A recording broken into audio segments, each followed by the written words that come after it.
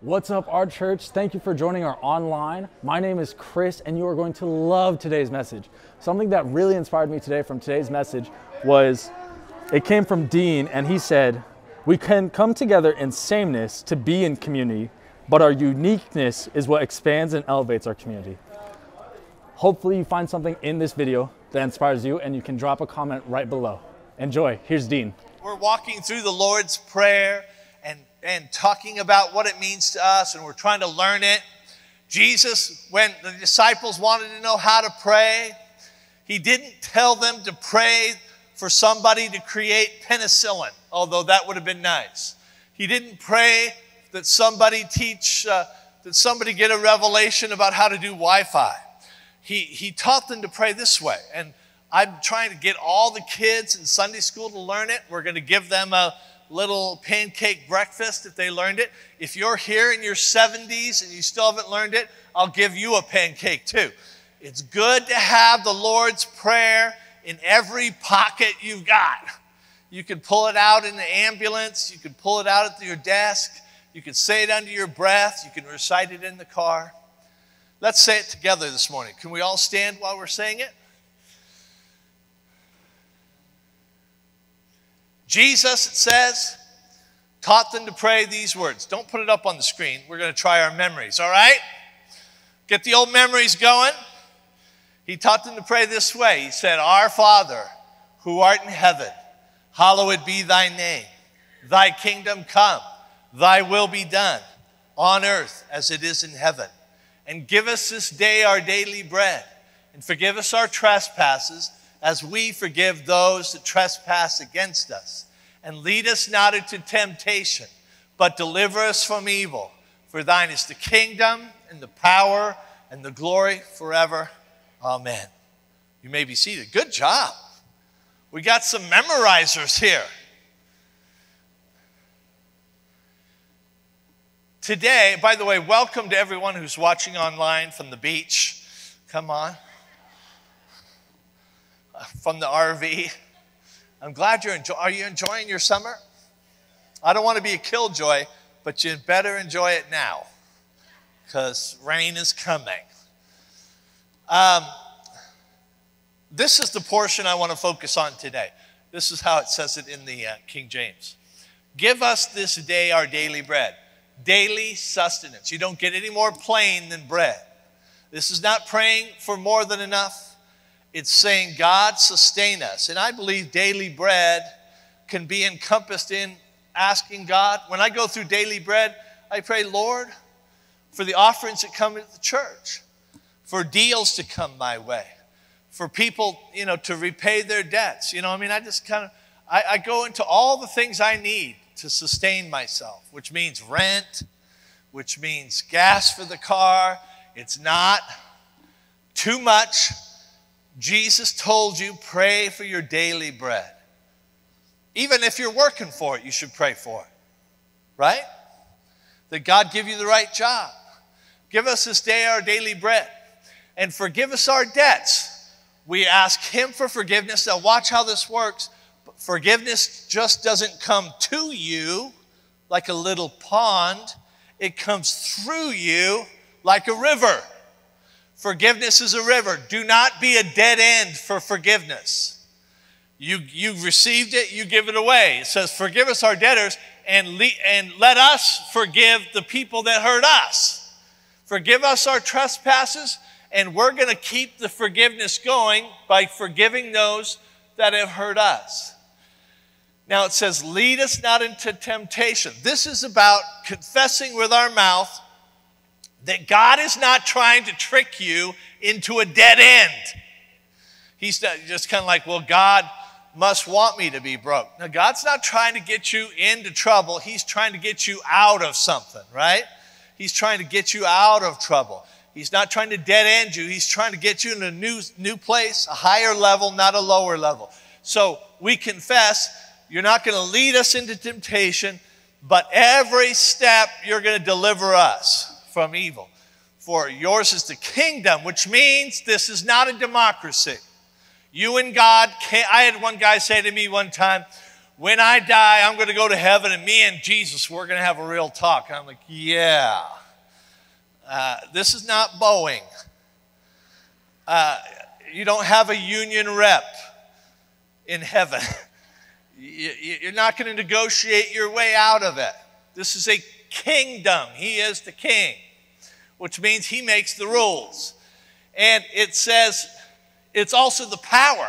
You say, well, King Charles doesn't have any power because it's a form of king stripped of its impact. This is not that. This is the kingdom and the power. He, he makes the rules and then he can give you the authority to execute every promise he gives you. This is why we, the, Jesus said to his disciples, I give all authority on heaven and earth has been given me, and I give it to you. Go pray for the sick. Are you guys Christians? I can't tell. It's just a, so it's a quiet vibe today. You have all authority on earth because Jesus gave it to you. So the kingdom, the power, and the glory, which means at the end of it, God is going to get all the credit for what happened through you. Now, people aren't going to go, Isn't Melanie wonderful? Melanie is wonderful. But it's Jesus in Melanie that you really love, right?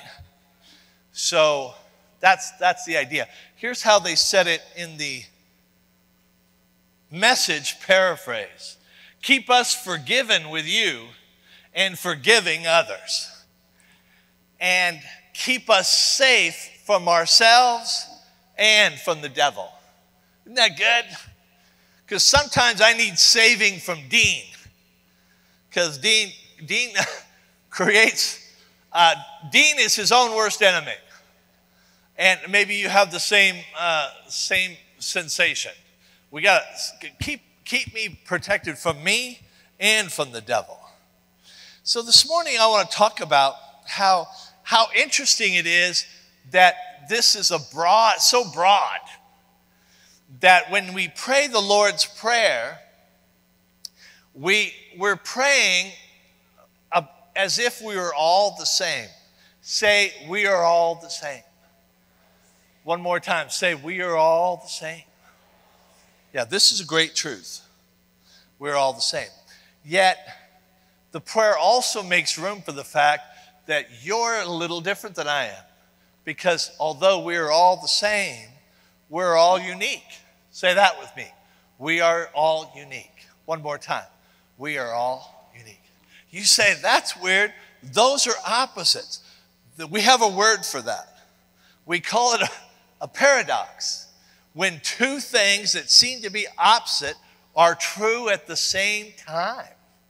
And I think in 2023, maybe we've lost the appreciation for paradox because people tend to live with one truth or the other. May I illustrate? This is where you say, Yes, Dean, please illustrate. Thank you so much. On this end, we have people with this affirmation that say, We are unique. One more time, say that. Okay, if that's the only truth that you live your life by, you, you are going to walk yourself into trouble with God and humans. Because it is true that you are unique, but there are people, and in my circle, generally my secular friends, these are generalizations, but they tend to make that mistake more than my religious friends. And I am unique, and that is my whole philosophy gets you into trouble in the following ways. You basically, in the extreme, and I'm, I'm talking in extremes, in the extreme, I am unique leads you to things to, like where you're a God unto yourself. Hey, you can't tell me what sin is because I decide what sin is. You can't tell me right from wrong. You can't tell me what sexual behavior is right. You can't tell me what stealing, I decide if, if my heart was right when I stole that stuff. If I was hungry enough, I call stealing okay. Based on how I process the world, right? And I decide what gender I am, and I decide what, what sex I am, and I decide how, how marriages should run. And I decide morality. I decide the good people are the bad people. In the extreme, that's a form of declaring yourself God. And there are people that live their life that way. On the other extreme are the people who don't acknowledge uniqueness at all. And generally speaking, it's a generalization. generally speaking, for me, my religious friends t- t- tend to make this mistake, where my secular friends over there tend to make the other one. In the extreme, this we are the same, everybody say we are the same.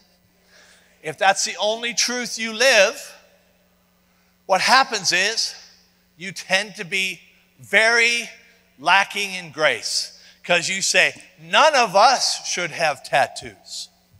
None of us should go to church without a tie. None of us should like that kind of music. None of us should wear makeup. Anybody grow up in religious circle like that?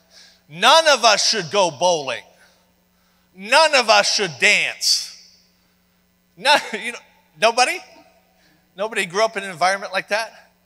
Did you hear about the Baptist guy who wouldn't uh, have premarital sex because he was afraid it was going to lead to dancing? Did nobody? Nobody. It's an old joke, but it's great. You'll get it later. But um, those are extremes. Say extremes. Yeah. The reality is, both of those are true. And if you can live both of those at the same time, you're going to find yourself capable of being in the center of God's will. This prayer does that. When it says, Lord, forgive us, what it's saying is, we are all the same. We are all sinners. But the thing about being sinners is, what is a temptation to you is not a temptation to me. What is a stumbling block for you is just a distraction for me. What is an obsession for me is nothing to you. So we are the same, but I am uniquely tempted. By the way, we are the same. We all have value to God. We are all sons and daughters of the King. Amen. But your gift and ability is different than mine. Sameness and uniqueness. They both have value. Sameness creates community. This is important. You should write this down. You say, why does it matter that I recognize that everybody here is the same? Because what happens is when you walk in here thinking you're unique, you say, none of these people understand me. Want to bet? We all know about struggle. We all know about bad days. We all know about temptation. We all know about sadness. We all know about loss. Nobody gets the whole cake. Nobody gets out alive. Eh, your problem, the scripture says, there is no temptation uh, given to man except that all people have had it, right? We've all had the different temptations. Yours might be slightly tailored for you because the devil, uh, he, he, uh, he knows how to push buttons, doesn't he? But when we, ha- when we focus on sameness, we create community, we create friendships. Now, there are different, I've been leading churches for a long time, always excellent churches. And uh, I, I had people from all over the country come visit churches I've pastored, and they all ask the same question. They say, How do you get so many young people and old people together? How do you get so many black people and white people together? How do you get so many rich people and poor people together? And the idea that I tell them is if you focus on Jesus, everybody needs Jesus, right? So I'm not trying to make everybody the same in every other way. We don't all have to vote Democrat. We don't all have to vote Republican. We don't, we don't all have to vote. But everybody here needs Jesus. And so com- we come together around the idea of Jesus here. That's not the only thing that creates community. My dad is in a garden club and he's in a camera club. So if you like cameras and gardens, you could be a part of that. But there's a ton of people that don't need that. Everybody needs Jesus. That's why the church is the most vibrant organism in the world. in every language. People have been meeting all weekend long around the world in Muslim countries and Hindu countries and Baptist in uh, uh, Baptist circles and charismatic circles. Where sameness creates community. Uniqueness creates value because although we all need Jesus, Jesus comes through us in different ways. When we worship in just a few minutes, you're going to see people who are gifted worshipers. If I led worship here every weekend, the place would clear out. But if they preached every weekend, the place would clear out. I, the way Jesus comes through me with my gifts is appealing to you. It's, it's just the way that God wired me up. But the way He comes through somebody else is also appealing. Aren't you grateful that not everybody's the same? Yeah, but aren't you grateful that we're the same enough that we could have fellowship? Your uniqueness creates value. Somebody said to me, and I believe it's true, that your sameness creates your circle, but your uniqueness creates your income. LeBron James and I are the same. Wait for it. We're both men. We are both fathers. We are both husbands. We are both uh, young and handsome. We're, we're the same. But the way LeBron's gifts come into the culture, LeBron creates more value. You don't have to, I'm not asking you, I'm telling you. The world has decided he's worth $50 million a year, and I am not. So if you need money, call LeBron. If you need somebody to fill a 60,000 seat auditorium, call LeBron. There's a new soccer player in Miami. Did you see this? Messi, the great soccer player from France. They hire this dude and they sell out. And, and stars from all over the world come to watch his first game. He's worth the money. You say, you shouldn't pay that guy $200 million. He'll easily make $200 million and he'll be worth every cent because he has value to millions of people around the world. So if he gets a nickel from every one of them, he's going to make way more than I make. However, everybody say, however. Yeah. If you're having the worst day of your life, you probably don't want to call LeBron. You should call me because I am a good friend and I have all kinds of value when the world starts, starts falling apart. I am an expert. I've been people with people in the worst day of their life, and I have friends for life because when your son passes away, when your wife walks out, when they take the house, you got to have somebody who knows what to do and how to pray and how to support. And I am that guy. That's my value. And people, people appreciate it. It's the sameness and the uniqueness coming together. You get it? Say, I get it. Yeah. It's these three things. Number one, it's His image and our gift. His image, our gift. His image, our gift. Every single person here is created in God's image. Every person listening on the online experience is created in God's image. I don't have to say, oh, that street guy, I wonder if he's created. No, no, no. The Bible says, doesn't matter if you're homeless, doesn't matter if you're mentally ill, doesn't matter if you're an addict, doesn't matter if you're single, doesn't matter if you're married, doesn't matter if you're a senior citizen living in a home. That person is created in God's image. True or false? 100%. We are the same.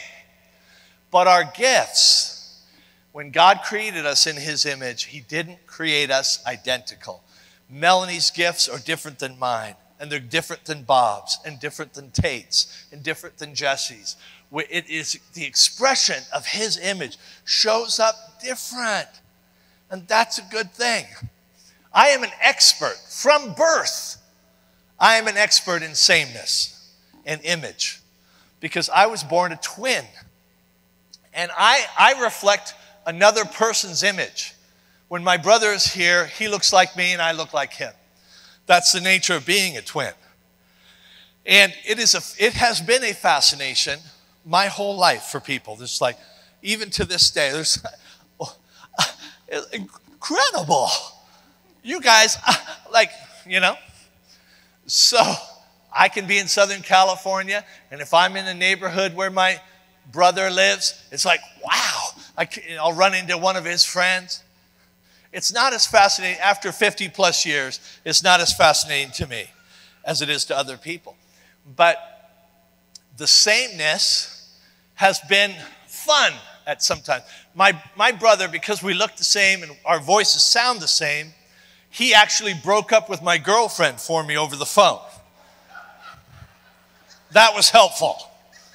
If anybody's ever been through a breakup, what you need is a dude that looks like you and talks like you. But his gift is not the same as my gift. The more you know us, the more you go, you guys are nothing alike. Because although we are created in the same image, we have different gifts. Number two, we all have the same purpose, but we have a unique assignment. Stephen's going to lead us in worship today. He's a pastor in the community and filling in for Scott and Ann while they're gone. And Stephen today drives to Chattanooga, Tennessee to become worship and staff pastor at a, ch- a church in Chattanooga. His purpose is the same as my purpose. It's the same as your purpose to, to reflect the glory of God. If you're playing in the NBA or you're leading worship or you're sweeping floors, your purpose is the same. No matter where you're at, no matter what language you speak, no matter your educational level, your purpose is to reflect the glory of God, but your assignment will take you different places. I'm never going to Tennessee. I've been to Nashville, I've been to Memphis. Uh, I might go one more time to see Graceland, but after that, I'm out. No Tennessee for me. Am I offending people? I can't tell. Is this a pro Tennessee crowd? Because it reminds you of Puyallup? What's going on? But um, assignment. Some of you pray every day, God, I pray that I could raise my family on a ranch. And every day of my life, I have prayed, God, please don't make me raise my family on a ranch. Because I, that's not the desire of my heart. It's not the, my passion, right? But I'm trying to reflect the glory of God just like you're trying to reflect the glory of God. I'm assigned to a different girl. I'm assigned to different children. I'm assigned to different responsibility. I'm assigned to a different father. I'm assigned to a different auntie. I'm assigned to a different grandchild. Follow me? Yeah, here's the last thing.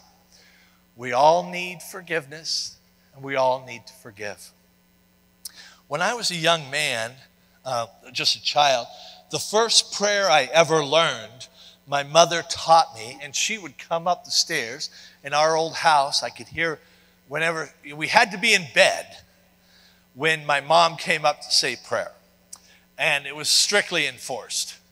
And there were squeaky steps uh, leading up to my bedroom. And so we could hear the, that meant like dive into bed. There were lots of nights I dove in all sweaty because we were playing, you know, wrestling or whatever.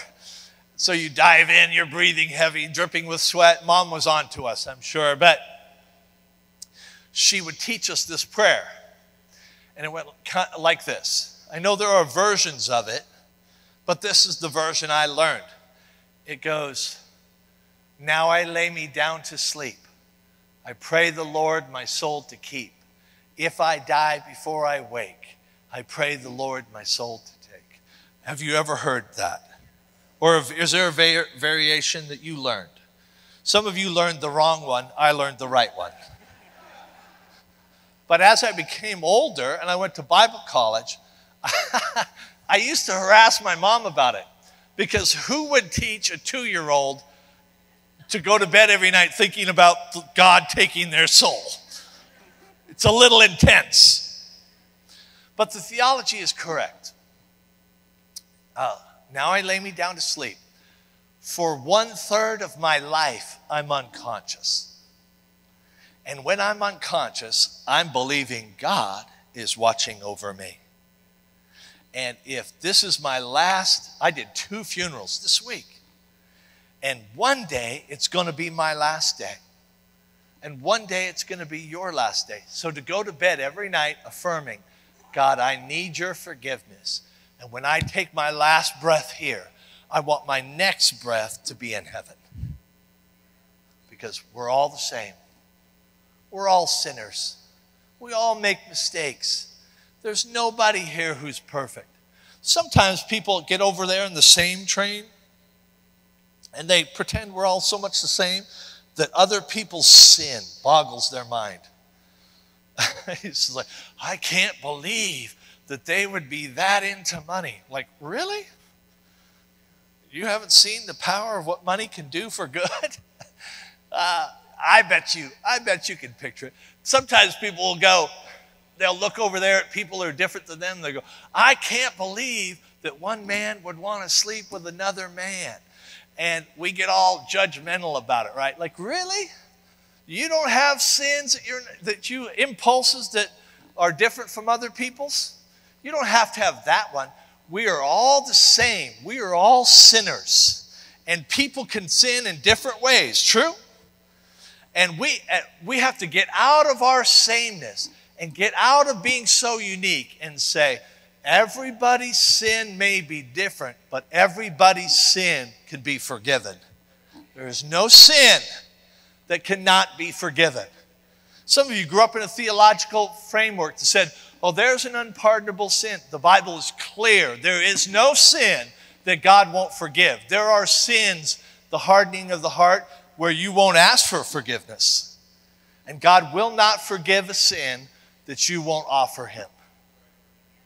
But God can forgive any sin any sexual sin, any financial sin, any relational sin, any lie, any greed, any hurt. I've talked to murderers. I've talked to adulterers. I've talked to all, I, I mean, there must be a sin I haven't heard yet, but I don't know. And I say, say the same thing to everybody He can forgive them all. Give us this day our daily bread. Take care of us. Because we all need daily bread, but we all have different jobs. And forgive us our trespasses, because we've all trespassed, but we all trespass in a different way. True?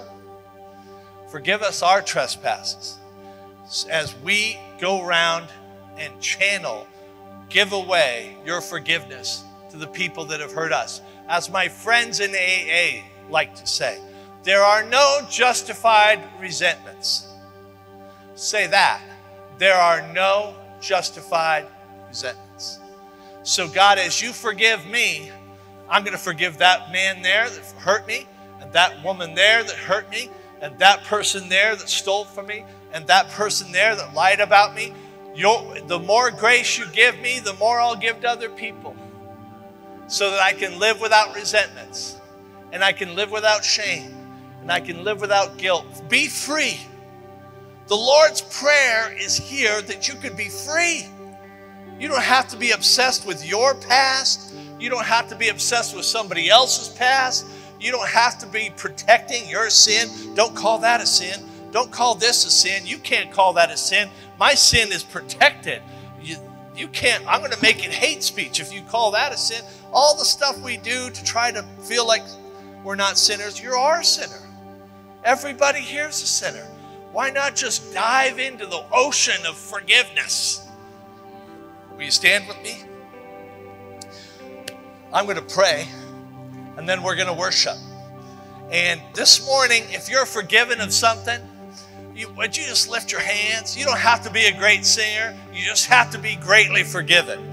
And they're going to lead us through a couple of songs, and we're going to close this service victorious because greater is He that is in us than He that is in the world. God, I thank you that you sent your Son to die for our mistakes, that we can live forgiven and forgiving, I thank you, God, that you not only provide our daily bread, but you have given us more than enough that we can be a blessing to other people. We can help the poor and we can help the homeless and we can lift people up who are discouraged and suicidal. There is no mistake that's too far from you. And we celebrate it here this morning in Jesus' name. Amen. Come on, remain standing. Let's worship together. Thanks for coming, buddy. Good to have you. Wasn't that such a great message? Thank you guys for joining us online. If you'd like to join us in person in the house, we have our experience on Saturday at 6 p.m. or Sunday morning at 9:30 a.m. and 11 a.m. We also have our summer second spaces going on, and if you'd like to learn more about it, go to ourchurch.us. Other than that, guys, have a blessed week, and we will see you next weekend.